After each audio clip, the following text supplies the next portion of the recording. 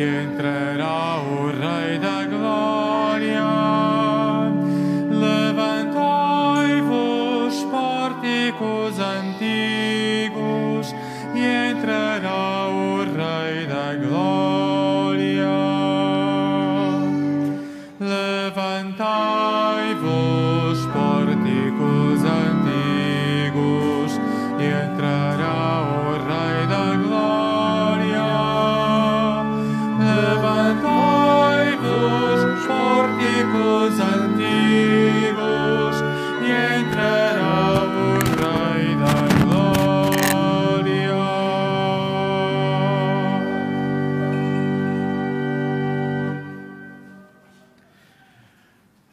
nome do Pai, do Filho e do Espírito Santo. Amém. O Senhor esteja convosco. Ele está no meio de nós. Caríssimos irmãos, somos convidados então, nesta véspera de Natal, a abrir o nosso coração, a levantarmos os nossos olhares para recebermos este Deus que vem ao nosso encontro, que se faz criança para morar conosco. E para mais dignamente celebrarmos estes santos mistérios, reconheçamos que somos pecadores e peçamos perdão.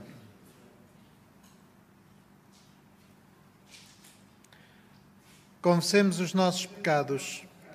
Confesso a Deus Todo-Poderoso e a vós, irmãos, que pequei muitas vezes por pensamentos e palavras, atos e omissões, por minha culpa, minha tão grande culpa, e peço à Virgem Maria, aos anjos e santos, e a vós, irmãos, que rogueis por mim a Deus Nosso Senhor. Deus Todo-Poderoso, tenha compaixão de nós, perdoe os nossos pecados e nos conduza à vida eterna.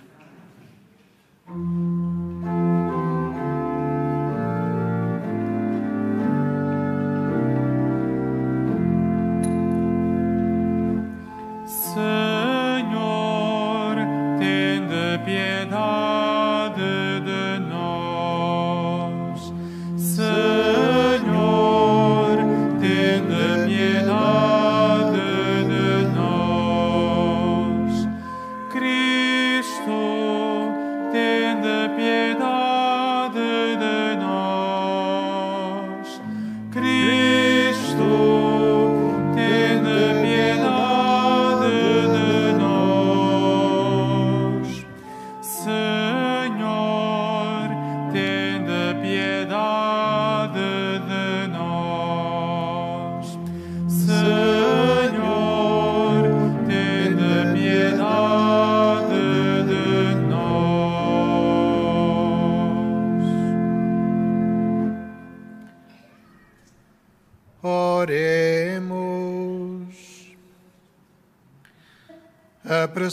Senhor Jesus, e não tardeis. Dai conforto e esperança àqueles que acreditam no vosso amor. Vós que sois Deus com o Pai, na unidade do Espírito Santo. Amém.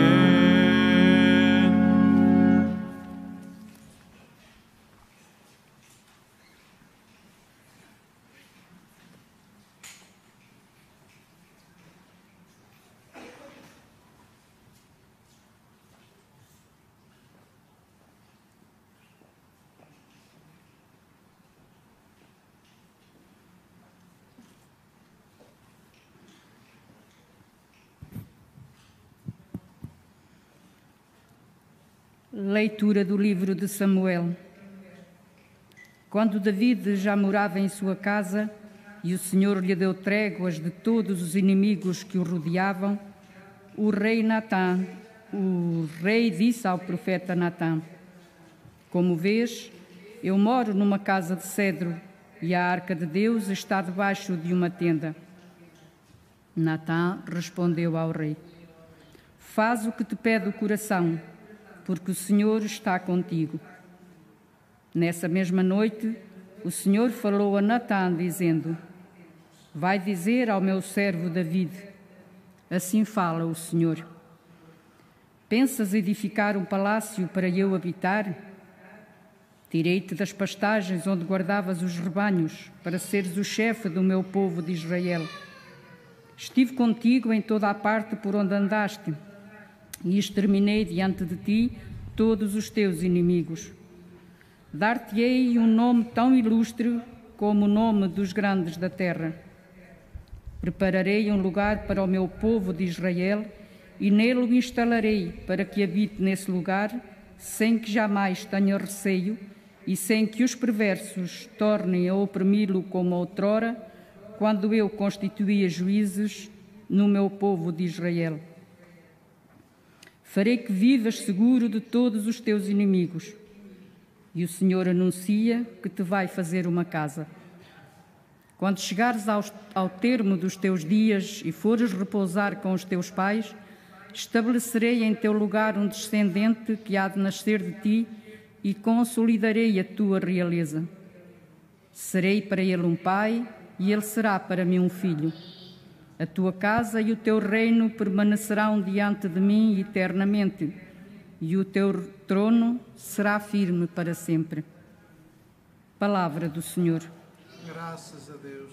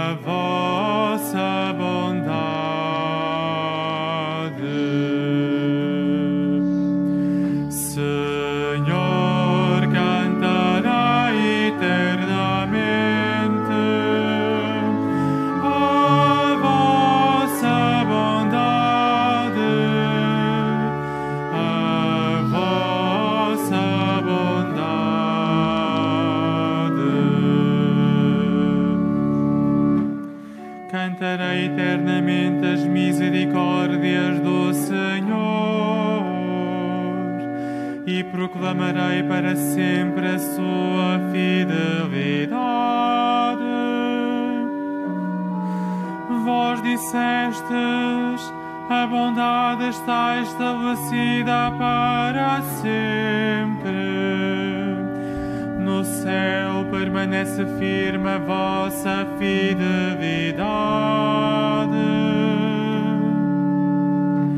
Senhor,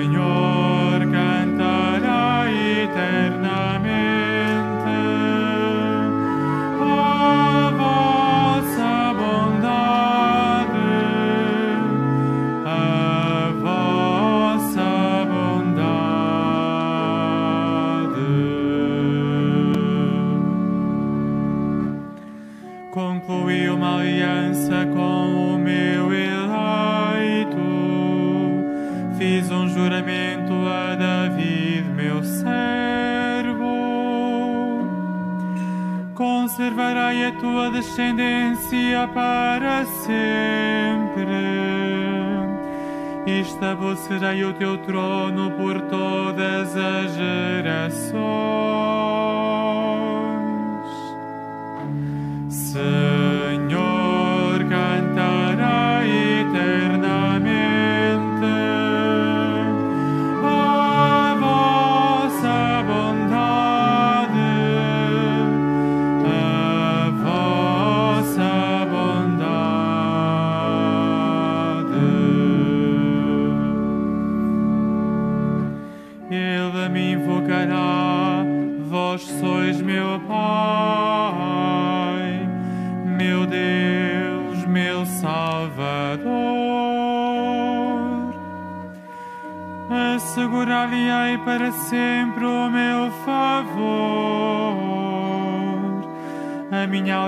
aliança com ele será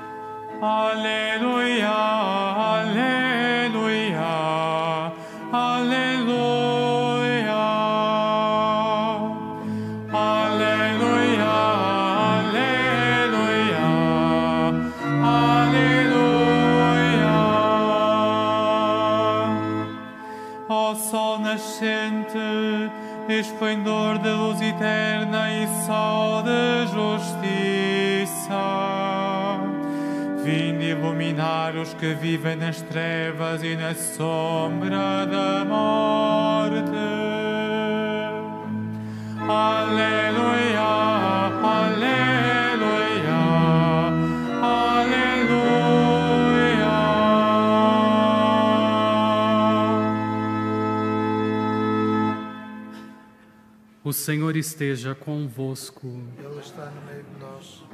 Proclamação do Evangelho de Nosso Senhor Jesus Cristo, segundo São Lucas. Glória a vós, Senhor.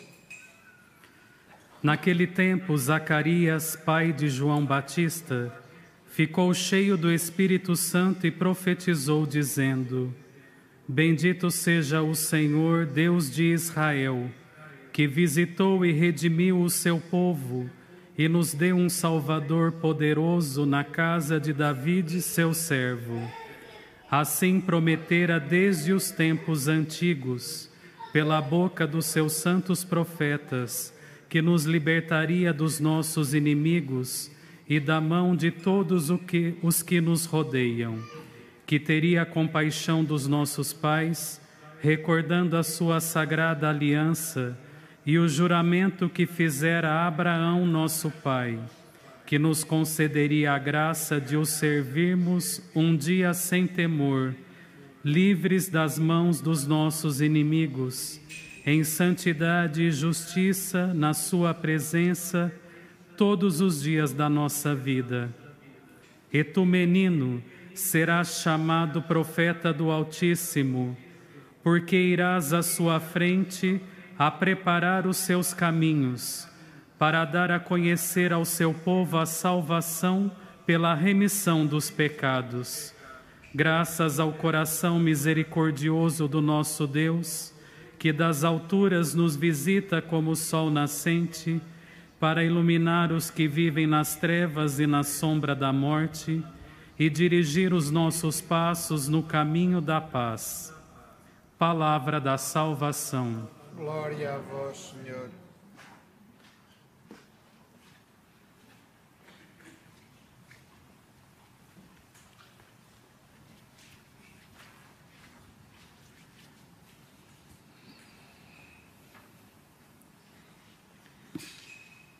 Caríssimos irmãos, ao iniciarmos este dia antes do Natal, hum, a palavra de Deus fala-nos desta alegria da iminência da salvação.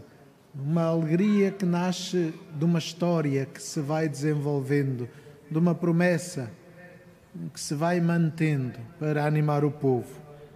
Hum, na primeira leitura escutávamos a promessa que Natã fez a David, deste rei eterno, do qual ele é a fonte, deste rei que cumpre a promessa de Deus de de um povo verdadeiramente unido, de um povo verdadeiramente fraterno, de uma nação que encontra a verdadeira paz, não a paz da ausência da guerra, não a paz de viver em harmonia com o mundo, mas da paz do coração, da paz que nos faz ter consciência de que fazemos parte de uma mesma família universal e que somos responsáveis uns pelos outros e que temos de nos ajudar uns aos outros a crescer, a ser melhores, podermos encontrar o caminho da conversão diária. Hum, as conversas de Natan com David nascem neste contexto do seu pecado, da sua eh, infidelidade, do seu adultério, eh, mas nascem também da fidelidade de Deus. E eis que é importante, e nós que temos consciência que somos pecadores, nunca podemos duvidar da fidelidade de Deus e do seu amor por nós, que é sempre muito maior que o nosso pecado. A sua misericórdia cobre sempre o nosso pecado e por isso este tempo de Natal é tão importante, porque é o tempo em que percebemos que de facto a promessa de Deus é uma promessa concreta, não é apenas uma utopia não é uma promessa vazia para nos deixar complacentes iludidos, enganados. Não, é uma realidade que se vai cumprindo. E, e o Evangelho é este cântico do Benedictus, de Zacarias, pai de João Batista, que a Igreja reza na sua oração todas as manhãs. Este louvor ao Senhor eh, por toda a história da salvação, por este povo que Ele foi preparando, a casa de Israel, que foi preparando para acolher o Messias, mas sobretudo para o apresentar ao mundo. E nós somos os herdeiros deste povo, somos os herdeiros desta promessa. E agora, ao celebrarmos o Natal, é precisamente isto que fazemos, esta apresentação do Deus menino ao mundo. Nesta apresentação do Deus que é amor e que se faz um de nós para caminhar connosco, faz parte da nossa história, faz parte da história humana e da nossa história pessoal. Portanto, o Natal é tão importante porque é um momento em que podemos tornar concreto este encontro nosso com Deus pessoal, o um encontro pessoalíssimo, em que o reconhecemos como não apenas como uma ideia, mas que o reconhecemos como pessoa que se revela a nós, que se revela para nos dar força, coragem, graça e dons para podermos tornar o mundo melhor para podermos recomeçar com um novo ânimo cada dia, cada semana, cada mês e cada ano. Recomeçar com vigor este novo ano que se abre diante de nós, com dificuldades, com perigos, com obstáculos, mas sempre esta esperança concreta de uma vida renovada. Uma vida que vai crescendo, que se vai transformando. E, portanto, que seja este o nosso louvor ao Senhor pelo bem que faz, pela obra da salvação e que possamos nós deixar que Ele trabalhe no nosso coração para que na nossa conversão podamos também encontrar a verdadeira vida, a salvação e através de nós conduzir o bem dos irmãos.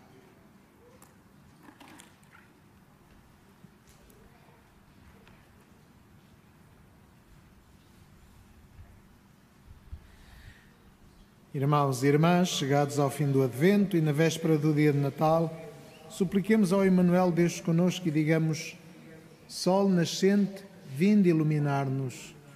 Sol nascente, vinde iluminar-nos.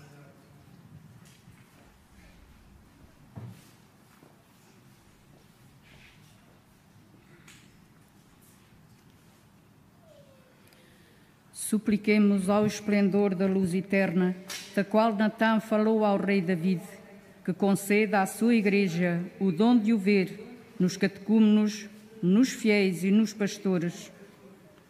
Sol nascente, vinde iluminar-nos. Supliquemos ao esperado das nações, prometido ao primeiro povo eleito, que dê aos homens e mulheres que creem nele a alegria de o cantarem eternamente. Sol nascente, vinde iluminar-nos. Supliquemos ao Príncipe da Paz, anunciado pela boca dos profetas, que venha socorrer a humanidade oprimida pela violência dos mais fortes. Sol nascente, vinde iluminar-nos. Supliquemos ao Médico Divino, esperado das gerações das almas simples, que não tardem em curar todas as dores dos enfermos, dos aflitos e dos tristes Sol, nas... Sol nascente, vinde iluminar-nos. Supliquemos ao Filho de Maria, adorado por todos os membros desta Assembleia, que ajude as mulheres que esperam um filho a dizer sim à vida e não à morte. Sol nascente, vinde iluminar-nos. Acolhei, Senhor Jesus, as súplicas dos que vos amam e adoram e ajudai-os a ser vossos discípulos vós que viveis e reinais pelos séculos dos séculos.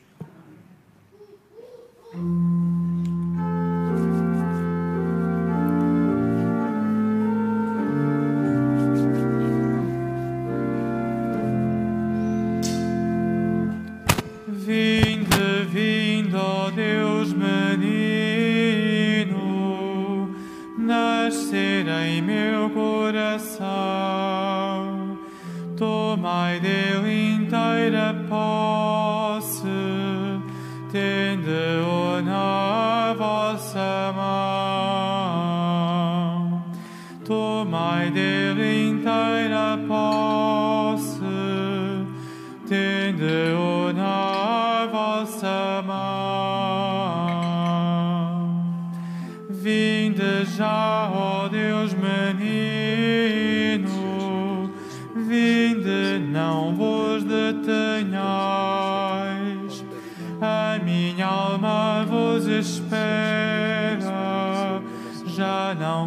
dich bedarma.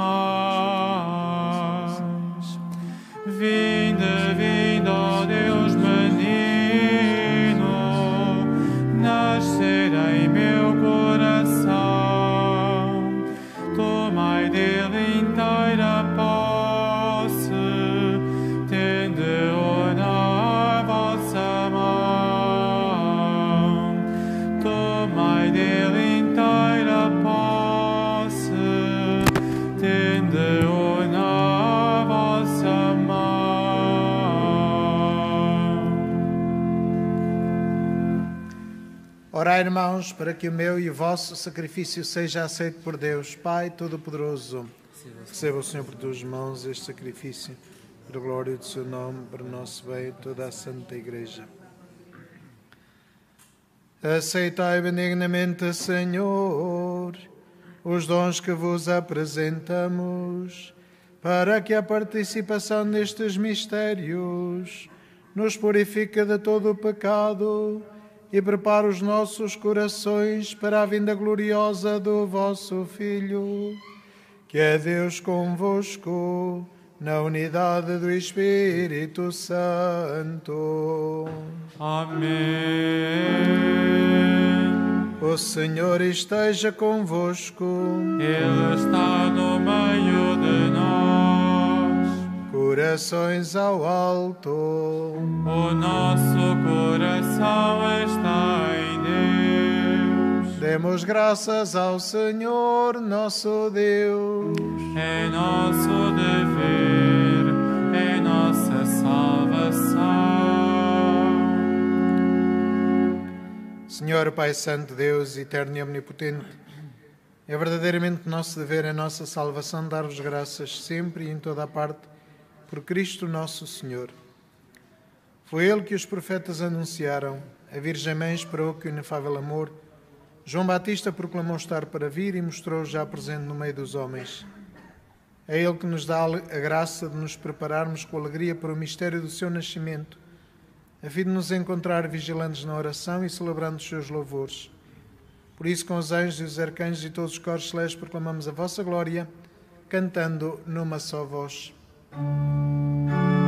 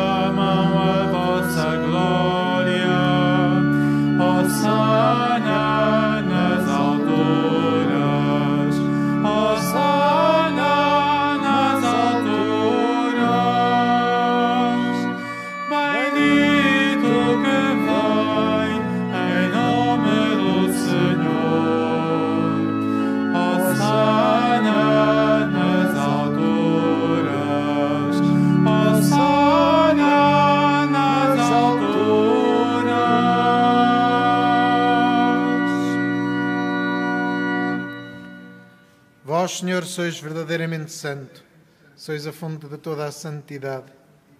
Santificai estes dons, derramando sobre eles o vosso Espírito, de modo que se convertam para nós no corpo e sangue de nosso Senhor Jesus Cristo.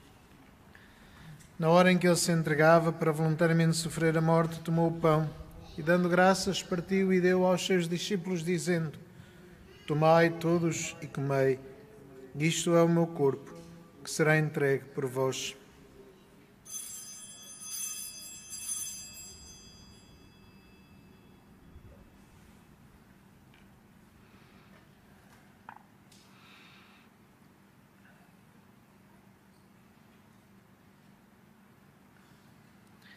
De igual modo, no fim da ceia, tomou o cálice e, dando graças, deu aos seus discípulos, dizendo: Tomai todos e bebei.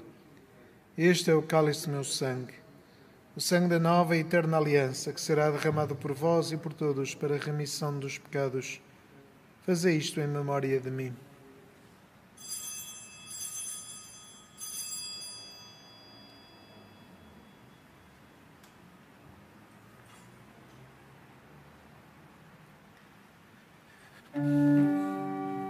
Mistério da fé. Anunciamos, Senhor, a vossa morte, proclamamos a vossa ressurreição. Vinde, Senhor Jesus. Celebrando agora, Senhor, o memorial da morte e ressurreição do vosso Filho, nós vos oferecemos o pão da vida e o cálice da salvação. E vos damos graças por nos admitiste à vossa presença para vos servir nestes santos mistérios. Humildemente vos suplicamos que, participando no corpo e sangue de Cristo, sejamos reunidos pelo Espírito Santo num só corpo. Lembrai-vos, Senhor, da vossa Igreja dispersa por toda a terra e tornai-a perfeita na caridade em comunhão com o Papa Francisco, nosso Bispo António e todos aqueles que estão ao serviço do vosso povo. Lembrai-vos também dos nossos irmãos que adormeceram na esperança da ressurreição e de todos aqueles que, na vossa misericórdia, partiram deste mundo. Admiti-os na luz da vossa presença. Tende misericórdia de nós, Senhor, e dai-nos a graça de participar na vida eterna com a Virgem Maria, Mãe de Deus, os bem-aventurados apóstolos, os santos Francisco e Jacinta Marto e todos os santos que desde o princípio do mundo viveram na vossa amizade para cantarmos os vossos louvores por Jesus Cristo, vosso Filho. Por Cristo, com Cristo, em Cristo, a vós, Deus Pai Todo-Poderoso, na unidade do Espírito Santo, toda a honra e toda a glória, agora e para sempre. Amém. Amém.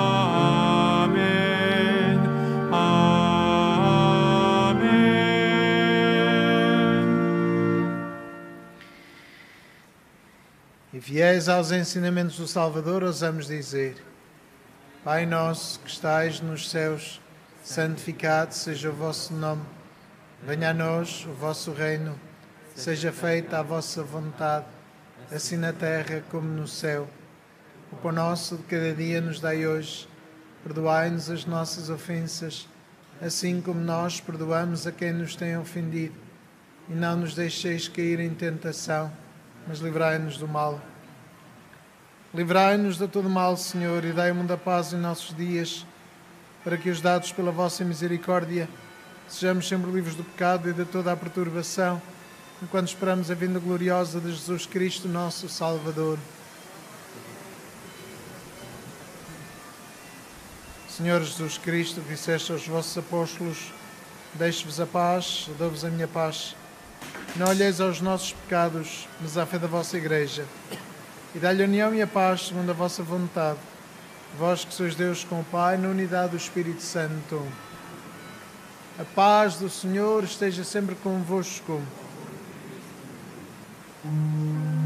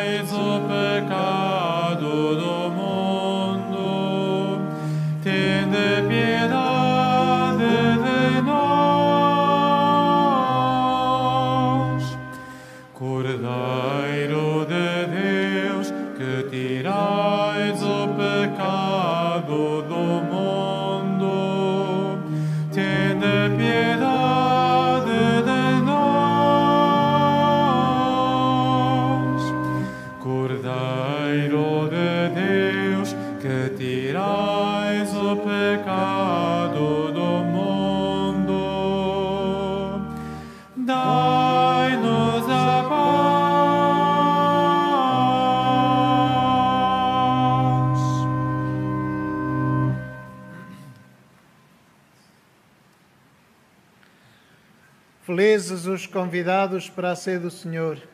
Eis o Cordeiro de Deus que tira o pecado do mundo.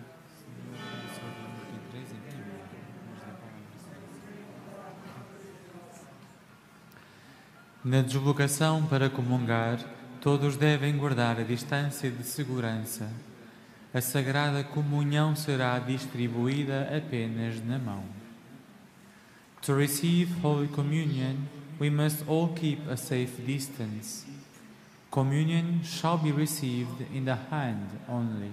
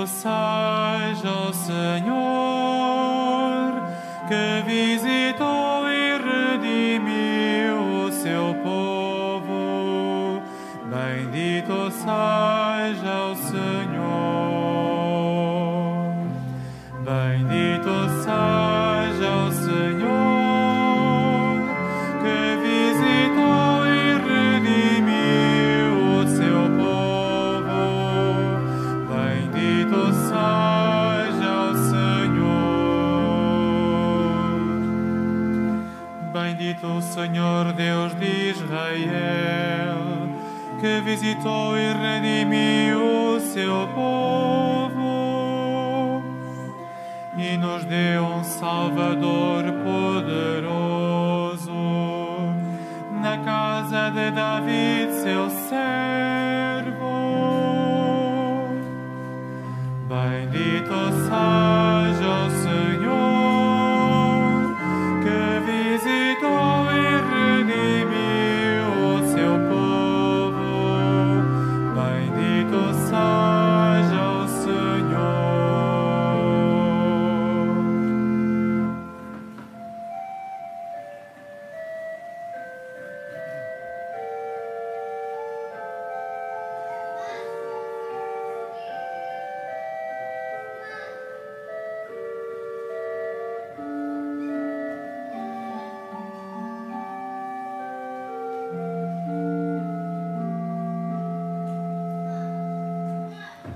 conforme prometeu pela boca dos seus santos, os profetas dos tempos antigos, para nos libertar dos nossos inimigos e das mãos daqueles que nos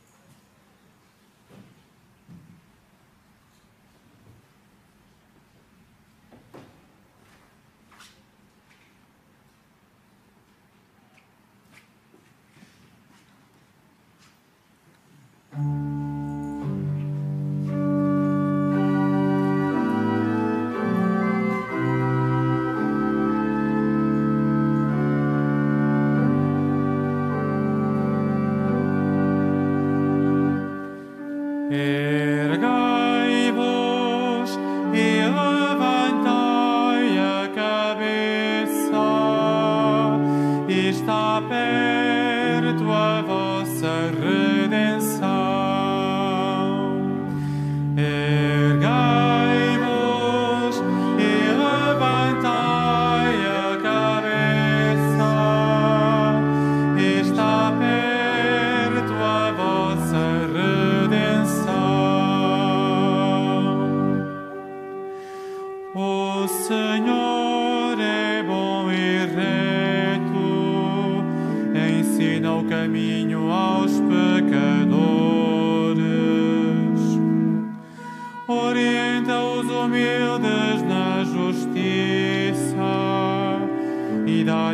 Conhecer os seus caminhos.